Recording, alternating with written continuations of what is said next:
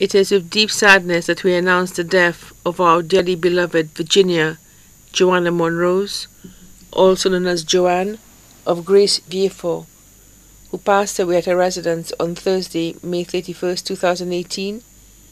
She was 52 years old. She was a former custodian of Lewis Industries stationed at Hewanorra International Airport, Vieux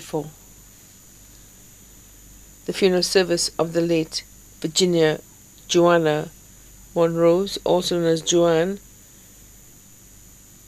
will be held at the Grace Evangelical Church on Saturday, June 16, 2018 at 3 p.m. The body will be interred at the Latone Cemetery. The body now lies at Rambali's funeral parlor, Latone Viejo.